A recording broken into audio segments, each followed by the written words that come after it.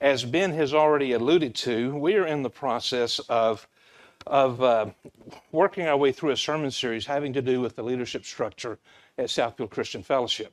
Now, you know that this sermon series uh, originated with the, uh, the work that I've been doing for a doctorate of ministry, ministry degree from uh, Midwestern Baptist Theological Seminary in Kansas City.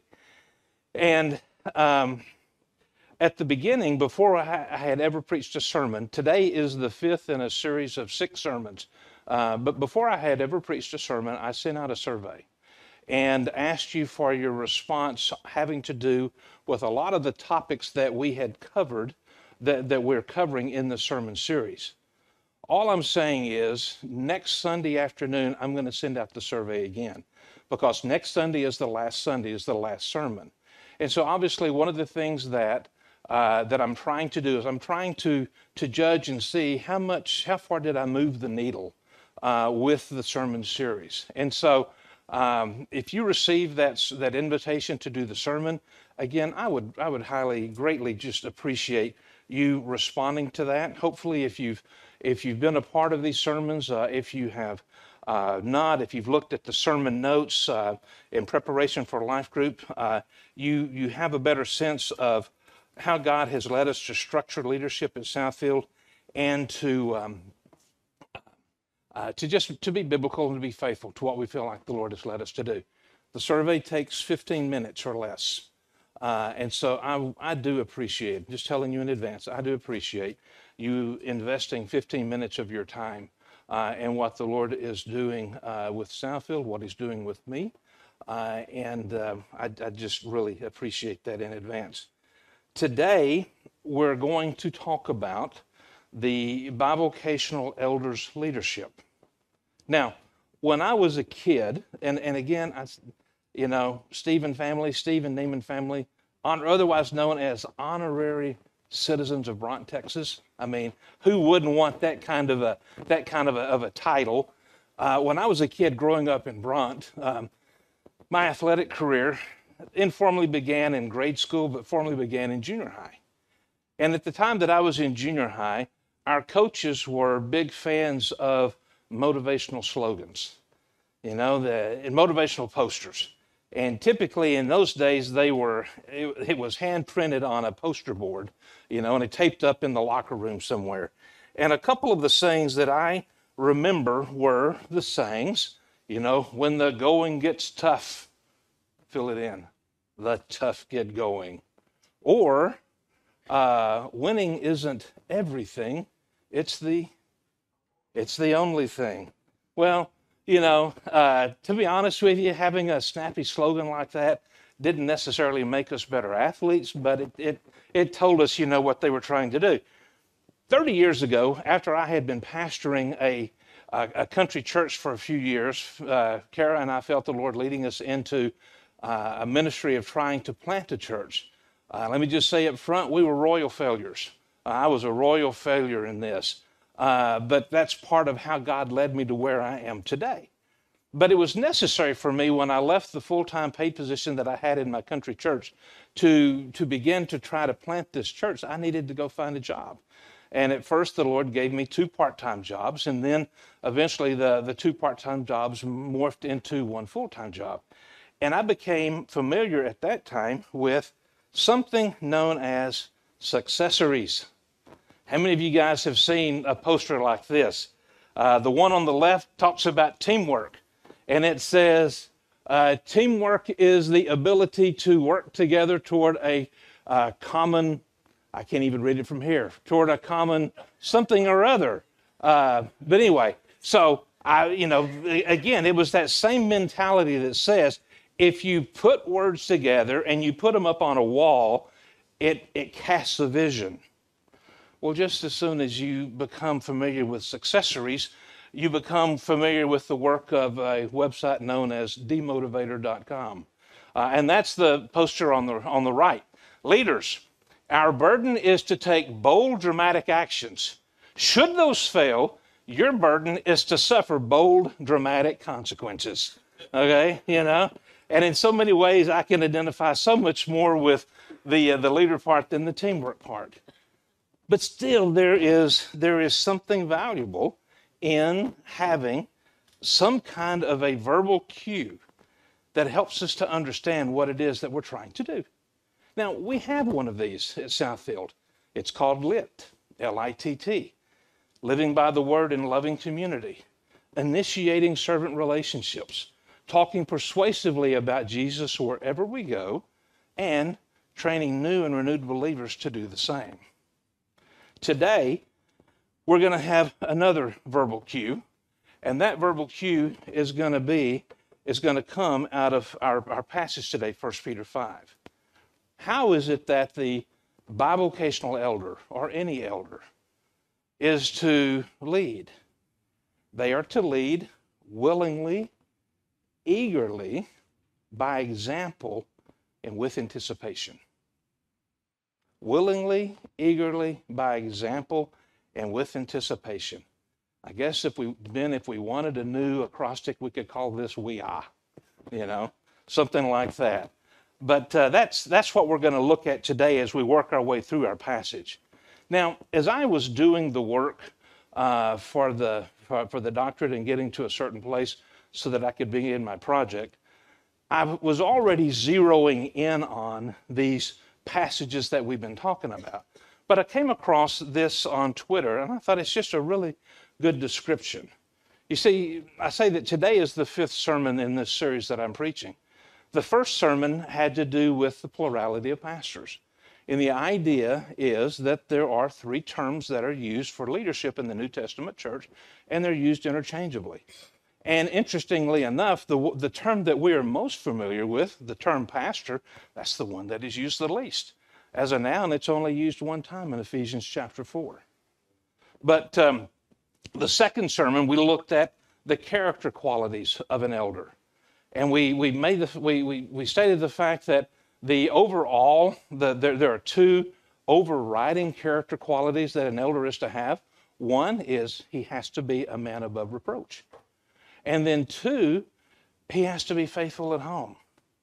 And then we talked about the other qualities that Paul talks about to Timothy and to Titus and made the point that many of those character qualities are especially important in the kind of a leadership structure such as what we have at Southfield, which is a team environment. We don't have a senior pastor. We don't have a lead pastor. What we have is we have co equal pastors who jointly lead the church. And you're going to, when we finish today's passage, you're going to have a better understanding of why that is. All right? The third sermon, we talked about the elder's job description. The elder has two things that he, that he is to do one, he is to lead, and two, he is to teach. Those are the two crucial things that an elder has to, has to do. Last week, then, you'll see that, uh, you'll remember that last week we looked at our passage out of Acts chapter 20. And, and what, this, what this diagram is showing is it's showing the, the three different terms that are used in the New Testament for church leadership. And you see that right there in the middle of our diagram, there are two passages that includes all of these terms pastor shepherd, bishop overseer, or elder. And that's the passage that we looked at last week, Acts chapter 20, verses 17 through 38, and the passage that we're going to look at today, 1 Peter 5, 1 through 4. So, last week when we looked at Acts chapter 20, what we focused in on was the benefit that it is to the church and to the elder when he has an outside job that provides the majority of his support. It keeps him from it, it, it, keeps him from a lot of dangers. And it's good for the church when the elder works an outside job because of the way in which he demonstrates the fact that he is under authority in his job, even as he is exercising authority in the church. Today, we're going to look more at this leadership that we're talking about for the bivocational elder. So let's read our passage, and then I'll show you the, the outline for how we're going to work our way through the passage, and we'll get started. Peter says, and this is at the end of, of his letter to these churches, he says, So I exhort the elders among you, as a fellow elder and a witness of the sufferings of Christ, as well as a partaker in the glory that is going to be revealed. shepherd the flock of God that is among you, exercising oversight, not under compulsion, but willingly, as God would have you, not for shameful gain, but eagerly, not domineering over those in your charge, but being examples to the flock. And when the chief shepherd appears, you will receive the unfading crown of glory.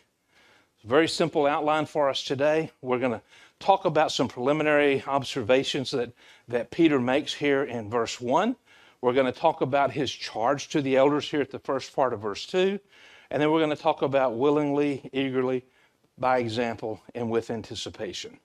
Let's begin with our, our preliminary observations. So, as Peter is, is wrapping up his letter here uh, to these churches in Asia Minor, one of the first things that he is doing is, again, he is identifying himself to his readers. Now, Peter has already identified himself at the beginning of this letter. And that first identification is, he says, you know, Peter, an apostle of Jesus Christ. And so when Peter says this at the beginning of the letter, he is saying something that is unique to him, but it, it's not something that's common to everybody else.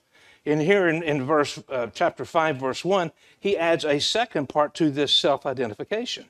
And that is, he says, Peter, a fellow to my fellow elders. And so as we as we look at this, he says, I exhort the elders among you as a fellow elder. As we look at this again, we see that that Peter is like them in some ways, but he is unlike them in some ways. And when we think about this, we this is a reminder to us. You know that when we talk about having a team of pastors who are co-equal and are working together as a team to, to lead the church, that team is not made up of people who are all alike. There are people who have different gifts. There are people who have different abilities. There are people who have had different experiences, different levels of maturity. But what we're going to end up with at the end of this passage is this. All of these men who, who join together to lead the church, they are all under shepherds, under the leadership of the chief shepherd. Say it now. I'll say it again in just a little bit. Who is the pastor of Southfield Christian Fellowship? Who is the senior pastor of Southfield Christian Fellowship? It's Jesus. Ben and I, and Tim, when he was a pastor, we're only under shepherds.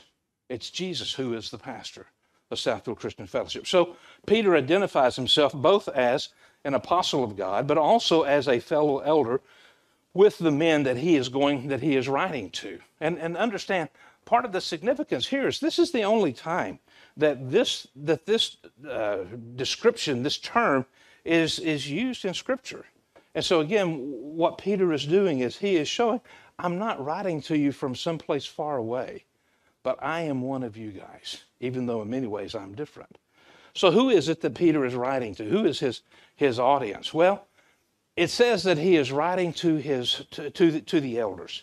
And, and so when we were looking at this back in the first sermon in this series, we, we looked at the different ways in which the word elder can be used in the New Testament. The, and one of the ways in which it can be used, it can be used to designate those who are elderly. Okay, I fit the description. I, I fit the term, all right? It can, it can be used to designate those who are the older men in the congregation. But it's also used to uh, designate members of the council in the book of Revelation, God's heavenly council, the elders around the throne. But there's another use, and that's the one that we're using here in this sermon series, and the way in which we use it at Southfield. An elder is simply a man who serves in a leadership role in the congregational assembly. We don't have an age requirement that somebody has to be to be an elder. It doesn't have to be the oldest man in the congregation, but they have to be able to meet all of the other requirements, all of the other qualifications that we looked at.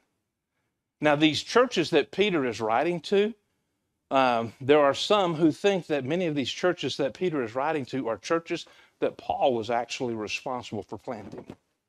So even and, so, Peter and Paul are are are both in Rome at this time. Uh, more than likely, Paul is uh, he, he could be imprisoned for the second time, headed toward his death. And so, even here, we see this, this sharing of, of ministry responsibility where Peter is looking after churches that Paul is responsible for. But when he does this, we, we see this great humility from Peter.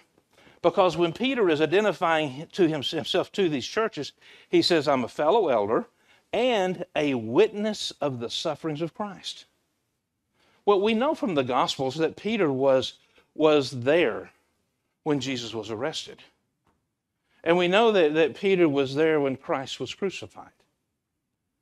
What Peter doesn't stay here, but what, what we know and what those who were receiving this letter and reading it know is that Peter failed Christ. When Peter had an opportunity to confess Christ, three times on the night of his betrayal and his arrest, three times uh, Peter denied Jesus. And, he, and he, he fled in shame. The church knew this. By the time that Peter is writing this letter, 30 years or so has passed. And what Peter is doing is he is acknowledging the fact that God has forgiven him of his failure. He's acknowledging his failure, and he's acknowledging that God, that Jesus restored him.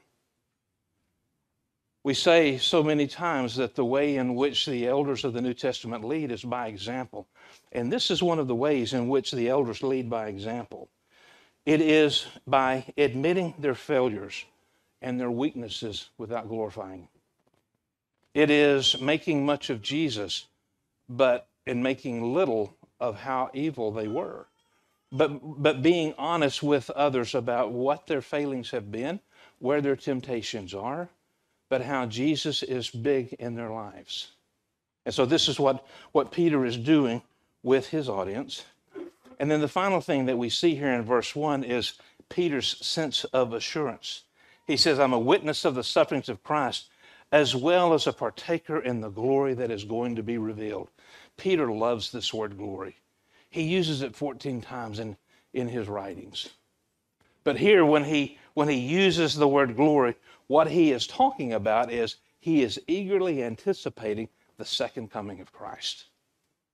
The second coming of Christ.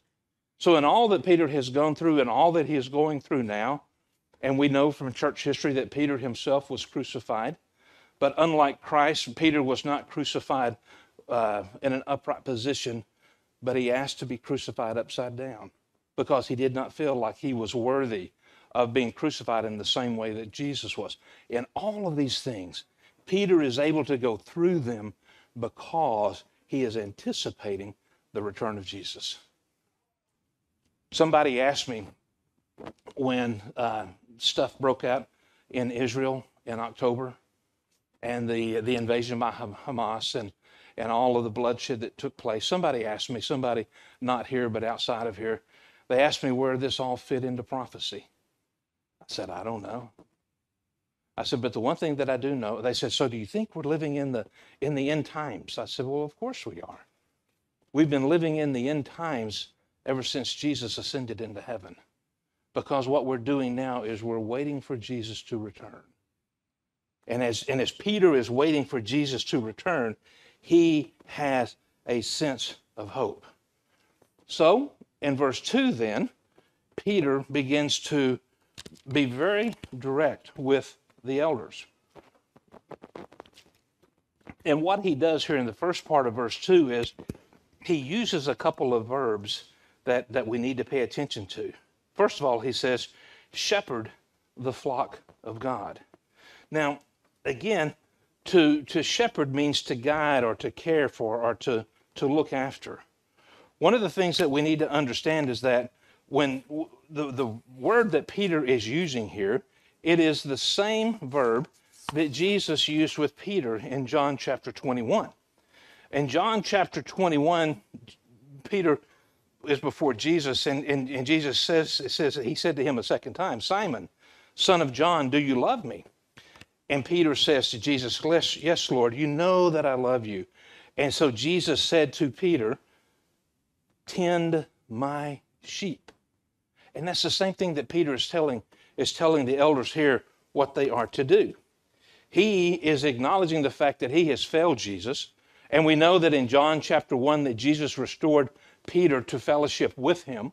And what Peter is now doing is he is, he is passing along to these elders the same charge that, that he had received from Jesus. And this is what we do in our lives with each other as we interact with each other. We share with each other what it is that we have received from Jesus. And so, what Peter is doing here, he is he's, he's taking the word that is typically used as a noun that, that, that uh, literally will give us the term shepherd, but figuratively we use it for the term pastor. And he's repeating what Paul did last week in Acts chapter 20.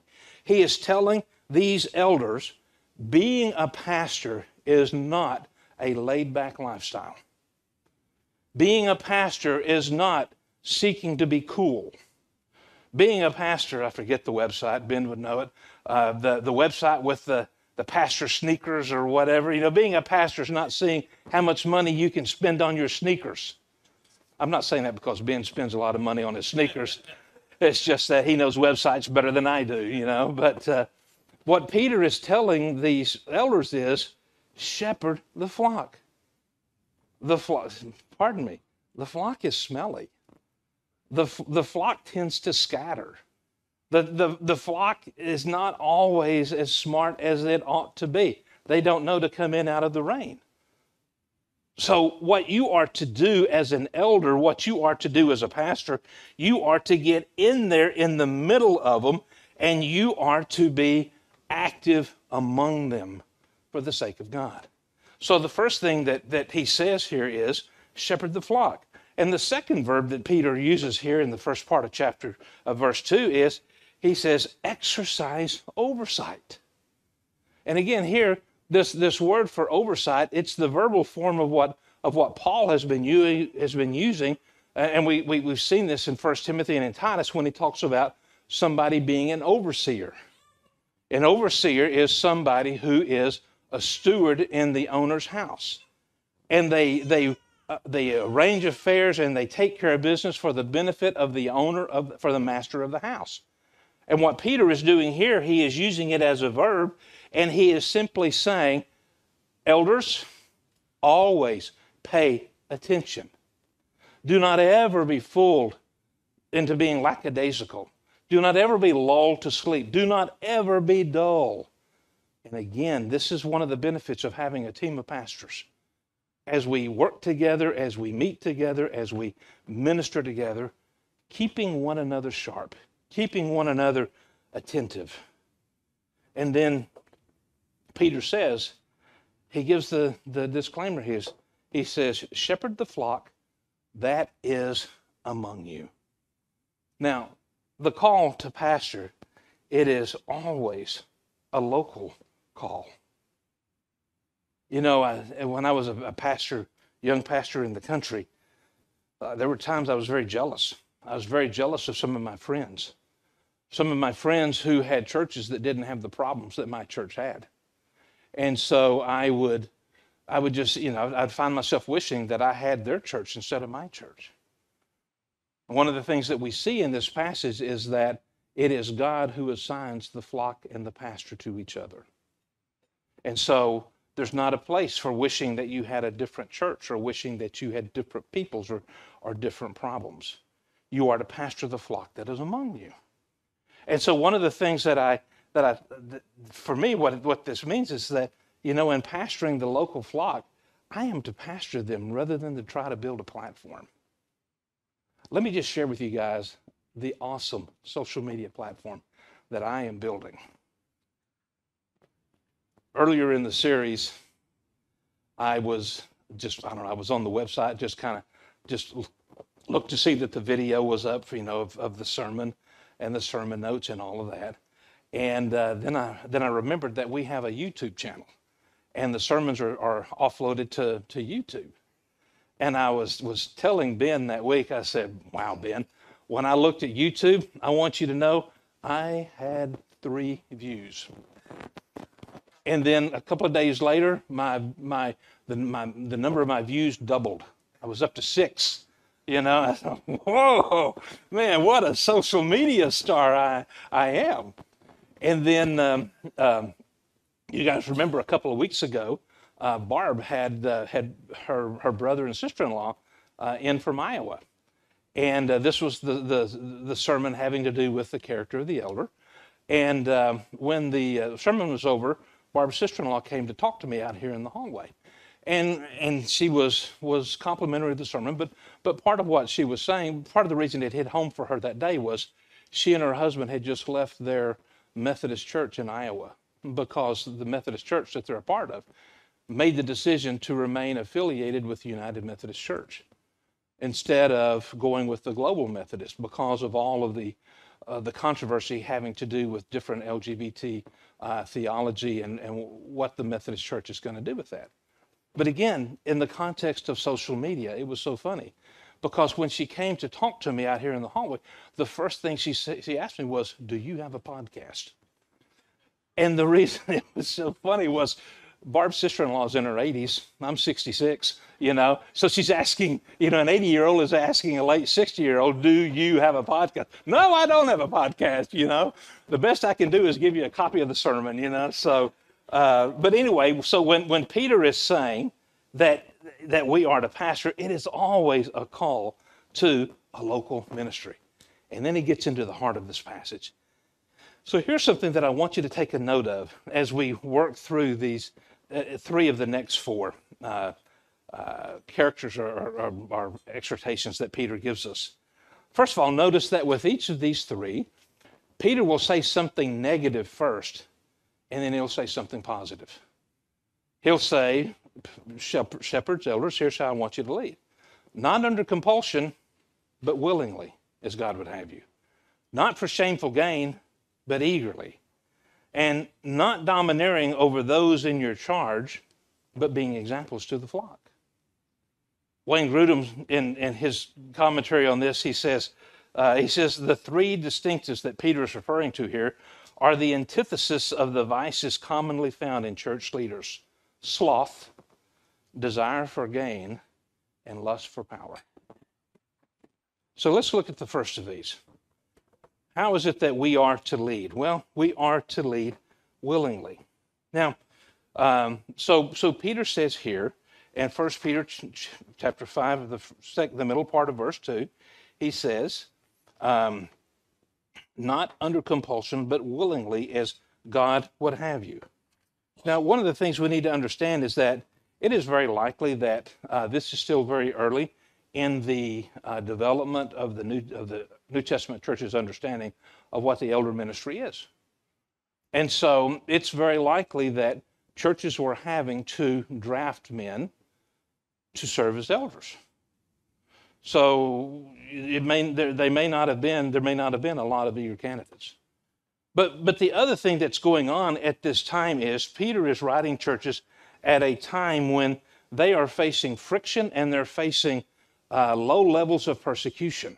They're not facing uh, the, the, Roman army, they're not facing the, the, the government of Rome in their persecution. That's going to happen after the turn of the century.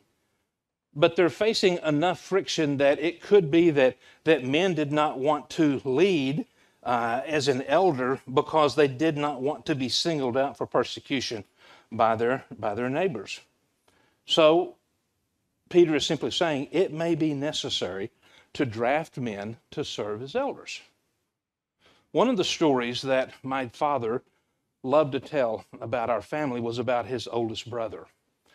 Out of all the men from the little town where they grew up in who, who were either drafted or, or volunteered to fight in World War II, my uncle served more time on the front lines than any of the other men from their community and he was a he was a sergeant in the army, and um, uh, he was serving in Italy. He was serving in France, and um, um, my dad said that my uncle had a reputation for two things, and and see a, a lot of the combat that my uncle in, engaged in was leading night patrols. Well, my uncle had a reputation for two things. One was he would wear his helmet very low like a Western gunfighter. And because he was from Texas, that's just how he wore his hat. Uh, I remember that's how he wore his hat, you know, and, uh, when I knew him. Uh, he wore his hat very, his helmet very low. But the other thing he was known for was he brought his men back alive. And so, so many times the, the, the, the, officers would come to him and they would say, Truman or, or Sergeant or Barbee or whatever. We, you know, we want to offer you this battlefield commission because they appreciated the fact that he stewarded the lives of his men. In the middle of the war, they sent him home to raise money for war bonds. He had a wife, he had an infant daughter. He goes home, he sees them, he's home for a month, and then he has to go back to fight. And they'd offer him these battlefield commissions, and every time they offered it to him, he turned it down. He says, I don't want it. Why? He says, Because I am going home. Officers don't go home. And see, in the church, we may look at that and we may think, oh, it's not as, as hard being an elder as it is being a sergeant on the front lines in battle. It's even harder. And so, one of the things that we need to keep in mind in, here is that we must be obedient to Christ. And so, if someone fits the qualifications of an elder and the church asks them to be an elder, they seriously need to consider saying yes. And when they do so, they do it with this sense, as Peter says, of doing it willingly. To do it willingly means to do it without a sense of obligation, to do it voluntarily, to do it deliberately, to do it in such a way so that no one would ever notice that they had been asked or they had been drafted. Everybody would see the way in which they conducted their service and they would and they would have the impression this man wanted to do this job. That's what it means to not do it under compulsion, but to do it willingly. The second thing that Peter said to the elders is that they are not to serve for shameful gain, but eagerly. Now, it is possible that at this time that some of the elders may have already been were in the process of, of being paid for their service. If so, it could be a reference back to uh, Jesus' uh, instructions to the disciples when he sent them out on one of their uh, missionary journeys. He told them to take no bag for your journey, or two tunics or sandals or a staff. And then he says this for the laborer deserves his food. So from the very early days, there's, there's provision in the things that Jesus is saying to, to be able to compensate men for their service. Peter, I mean, Peter, Paul talks about this uh, in 1 Timothy chapter 5, verses 17 and 18, which we've already talked about. Uh, in, in, in 17 and 18, he says, Let the elders who rule well be considered worthy of double honor, especially those who labor in preaching and teaching. For the scripture says, You shall not muzzle an ox when it treads out the grain, and the laborer deserves his wages. And so, one, one of the things that Peter, that Paul is saying to the New Testament church is that is that the elders are they're they're worthy of having double honor, which is one is honor from the congregation because of the way in which they serve, but also financial compensation. But what Peter says here in verse 2, he says, let them serve um, um, not for shameful gain, but eagerly. When, when Peter talks about shameful gain, the word that he's using, the term that he's using, is a term that has to do with fraud. Has to do with fraud. From my work in the credit union world and, and the little bit that I've done in fraud investigations, here's the one truth about fraud no one ever commits fraud accidentally. No one ever accidentally embezzles money.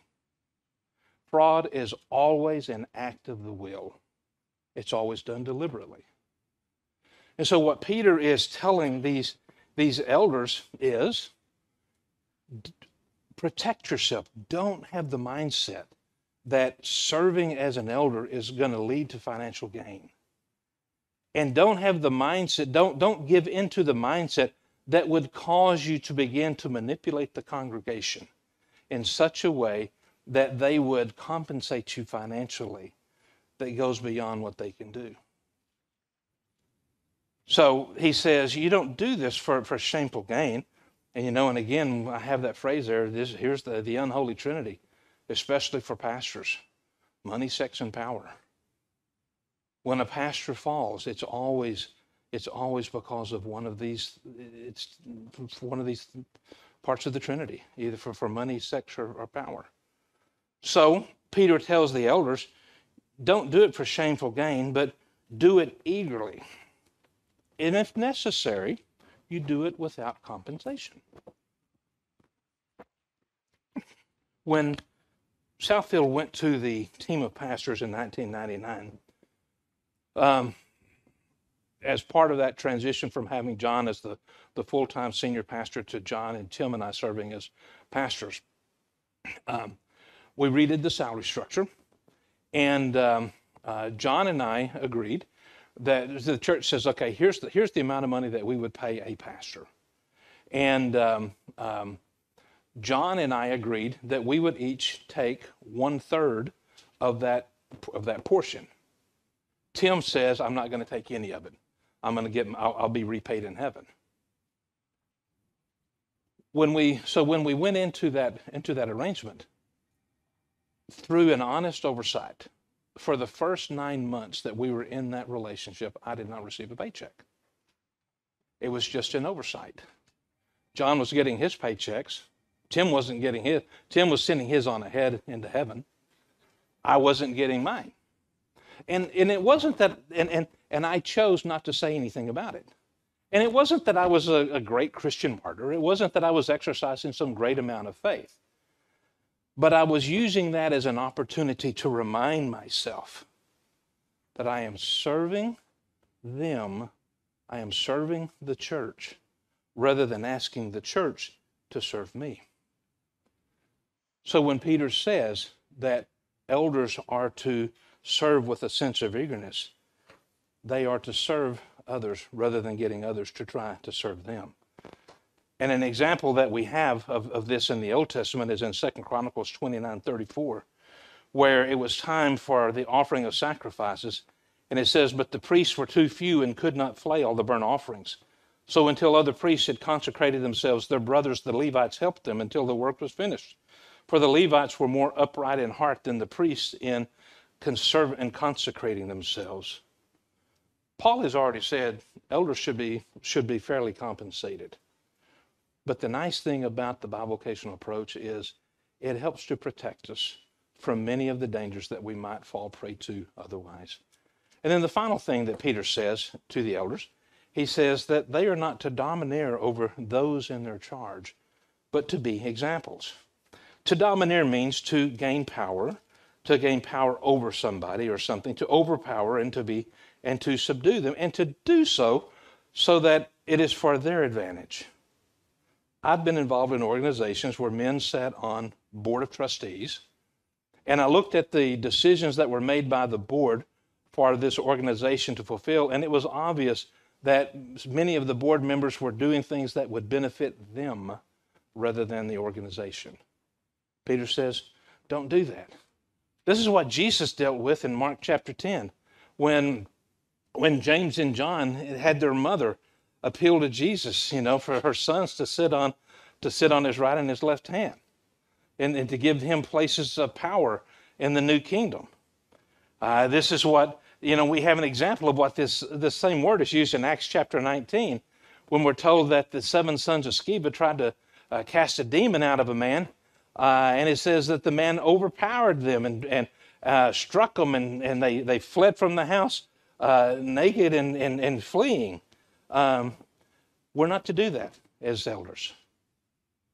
To be an elder means that to, to, to be an example to the flock, the, the word that's used there as an example, it's the word that comes from what happens when you strike something and you leave an indentation. You leave a mark. You know, in a little while, we'll hear Iris's uh, salvation testimony prior to baptism. And one of the things that I like to talk about in, in baptism, and I talk about it in weddings, is you know, I have a wedding ring that I wear that is simply ju- uh, just a, an outward symbol of the relationship, the covenant relationship that I entered into with Kara in 1984. If I take this ring off, I'm still married to Kara. I'm still in that covenant relationship. And one of the things that happens is from time to time when I do take the ring off because of the work that I'm doing or something else, it always leaves an indentation in my on my finger to remind me that Kara and I are married and that I am in an exclusive covenant relationship with her. Thomas did not necessarily believe that Jesus had been raised from the dead. And so Thomas said, I'm not going to believe it until I stick my hands, my fingers into the holes in his hands and into his side. Peter, Paul told the Philippians, he said, I want you guys to um, join in imitating me and keep your eyes on, the, on those who walk according to the example you have in us. So, willingly, eagerly, by example, and then finally, with anticipation. Here in, in, in verse 4, Peter says, When the chief shepherd appears, you will receive the unfading crown of glory. Who is the chief shepherd of Southfield Christian Fellowship? Jesus. Ben and I are just under shepherds. What I love about this, again, is that as shepherds, Ben and I are called to exercise oversight. We are called to shepherd as a verb, all of it in relation to the chief shepherd who is the noun. And see, that's just that's just indicative of, of how it is that, that all of us as believers are to live our lives. Our lives, the, the, the actions, the activities of our lives, everything we do is in response to who Jesus is. We begin with who he is, and then we and then we live accordingly. And our reward is going to come. It's going to come. You know, Tim said, I'm not going to take my paycheck. I'm going to, I'm going to wait and receive it in heaven. Tim is assured that he is going to be compensated for 20 years of faithful service in Southfield Christian Fellowship. Let's talk about some applications that we can make out of this. The first one that I want to say is that when we serve, we are to serve voluntarily and with enthusiasm. Um, if Southfield Christian Fellowship were to ask you to be an elder, and it wasn't your idea, I want you to consider it. I want you to consider it, and I want you to think about Nehemiah chapter 8 as to how you would do that. That you would do it according to the joy of the Lord, that that would be your strength. You see, in Nehemiah chapter 8, as the people have been rebuilding the walls of Jerusalem, the time comes that they're going to read the Word of God. And Ezra the scribe goes up on the, on the platform to begin reading the law and, and understand that, this, that, that the word of the, of the law, it had been neglected, it had been ignored. And as Ezra read and as the other, me, other men began to give interpretation, the people began to weep when was the last time that you and I wept because we had neglected the Word of God, not just missed a morning devotional? When have you and I wept because God has convicted us of, of the overwhelming nature of our sin and how, how easy it is that we forgive ourselves and say, oh, that's okay, God knows what I meant? When the reality is that these are the sins that Jesus died for. When have we wept? And Nehemiah told the people, he says, he says, don't weep. He said, go your way, eat the fat and drink sweet wine and send portions to anyone who has nothing ready. For this day is holy to our Lord. And do not be grieved, for the joy of the Lord is your strength. So the application here is if, if, if you are asked to serve as an elder at Southfield, do so in the joy of the Lord. But again, the feedback that I get and Ben is alluding to some of this. The feedback that I get is okay, I'm not going to be an elder for a variety of different reasons. What's in this sermon series for me? What's in this for us is this each one of us, as a follower of Christ, we are called, and one of the things that we bound ourselves to here at Southfield Christian Fellowship in, in living out the lit lifestyle is we, we have, a, we have a, We've committed ourselves to doing the I in lit, to initiate servant relationships. The problem with being a servant is when other people treat you like a servant, is when they expect you to care for them and to do things for them. Enter joyfully into that relationship and stay in that relationship through the joy of the Lord. The second application that I would say is this that we are to look to give rather than to get. Every Christian is called to live for Christ and not for themselves. Paul said in 2 Corinthians chapter 5, he said, For the love of Christ controls us, because we have concluded this, that one has died and for all, and therefore all have died. And he died for all that those who live might no longer live for themselves, but for him who for their sake died and was raised. If you serve as an elder at Southfield Christian Fellowship, understand that the church will compensate you at some level. Southfield is very generous, and Southfield is wants to take care of the men who serve, the men who lead. But here's the reality. The reality is, is that no church can ever fully compensate a pastor for who he is and what he does. Because no church fully understands what it costs these men to devote their lives to caring for God's flock. God's flock. Churches should be as generous as they possibly can according to their ability and according to their resources. But if you receive a salary from the church, be grateful for what the church can do. Be grateful because the church loves you and the church is, is helping to take care of you. When I went my nine months without a paycheck, again, it was no great act of faith. I'd been in Southfield for five years at this time. I knew the character of Southfield. I knew that one day I would receive a check and, and I would get all of my pay. And that's exactly what happened. You know, Tim, again, chose not to take a paycheck. And it wasn't that Tim was, was standing up before us and saying, Oh, look at how great I am, look at how whole I am, look at how full of faith I am. What Tim was doing, and I'll put words in his mouth, but what he was doing was he was serving as a living example in front of us of what it means to look to Jesus to be your source than to look at the people whom you serve to be your, your source. And so when we're serving in leadership, we need to keep that in mind. So, what's in it for the rest of us? All right, let me warn you, I'm going to step on some toes here. We are blessed we are blessed to have a number of young couples who have met, chosen each other, going through the process of, of getting ready for marriage.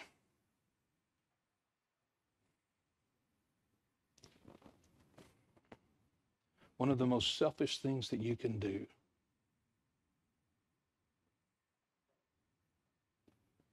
one of the most harmful things that you can do for your future spouse is to engage in a sexual relationship with them while you're dating, while you're engaged. You say, "Oh, when I get into marriage, I'm into marriage, I'm going to be faithful. I'm not going to be an adulterer." Well, then don't be a fornicator. If you want to protect your future marriage, refrain from sex before marriage live to give rather than to get. And then some of you will say, it's not a problem for me. I'm not engaged. I'm not even married. I'm not even dating anybody. Okay, look at the relationships that you have now. In the relationships that you have now, how are you looking to give rather than to get? You see, the, it, it, this is the thing that I've been saying as we've gone through this. So many of these things that apply to elders, they apply to all of us. It's not a difference in kind, it's just a difference in degree. All of us need to live with each other, seeking to give to each other rather than to take away from each other. Our next application is to lead others by example.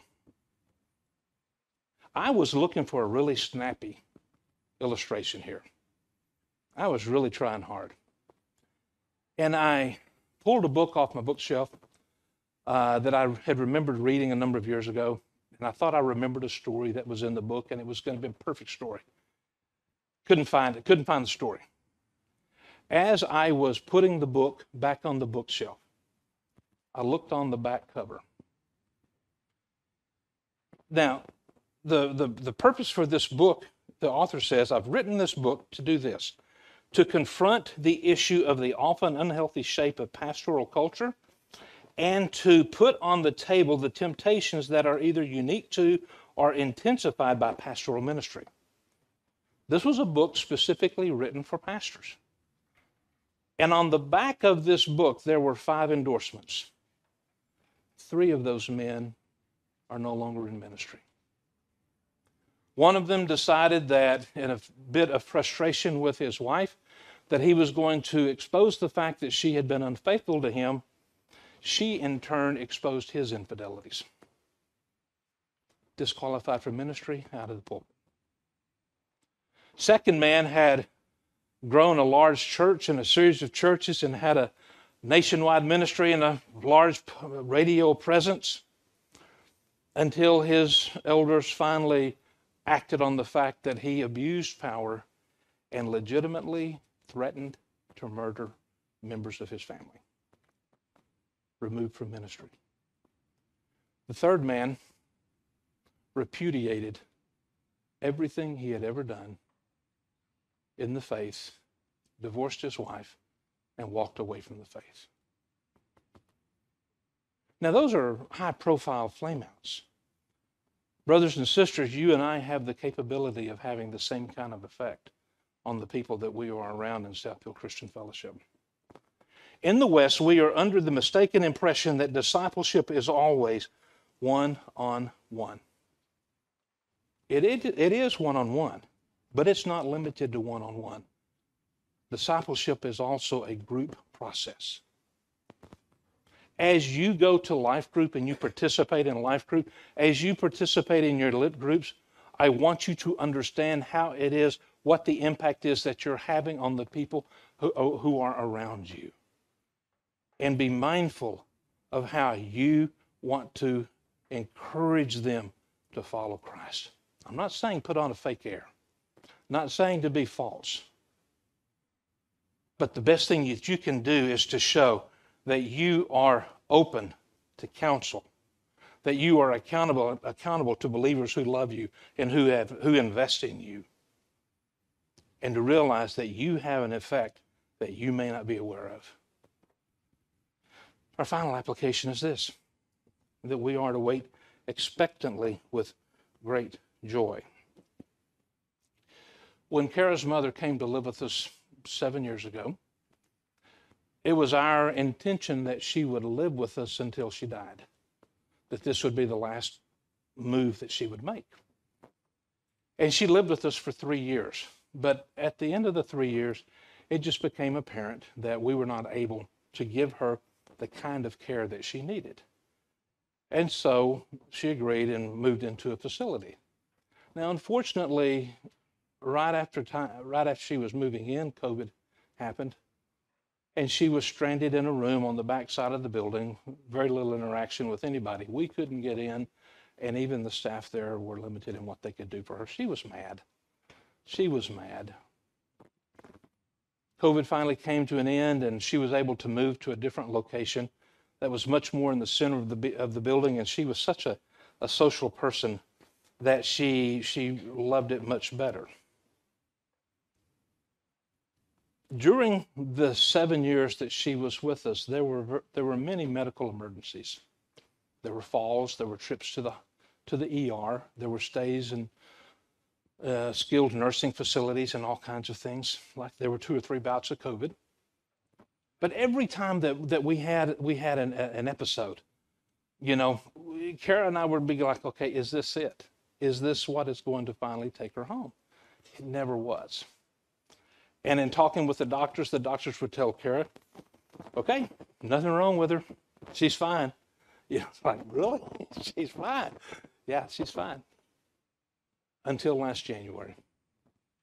Last January, she took a fall that, that incapacitated her finally. and it increased the amount of dementia that she was dealing with. And then on Halloween Day, she took another fall. And it was two weeks after that that she went to be with the Lord. As we look back over these seven years with the perspective that we have now, it's easy for us to say, okay, this was significant, that wasn't, that wasn't, that wasn't, this was significant, that wasn't, that wasn't, that wasn't. It's easy now, from this perspective, to see what those transition points were. But when we were in the middle of them, we couldn't tell. Brothers and sisters, we are waiting for Jesus to return. When he returns, we will receive whatever the reward is that he is going to give us. But until then, we continue to serve in spite of not knowing exactly how close to the end we are. So, Paul gives us the encouragement here in Galatians chapter 6 as to how we ought to live during these days. He says, Let us not grow weary of doing good, for in due season we will reap if we do not give up. So then, as we have opportunity, let us do good to everyone, and especially to those who are of the household of faith. So, because of the way in which Kara lived this way with her mother, with her mother no longer with us, Kara is sad. But she has no regrets. Because when she had the opportunity to serve, she served. You and I have the opportunity to serve one another now.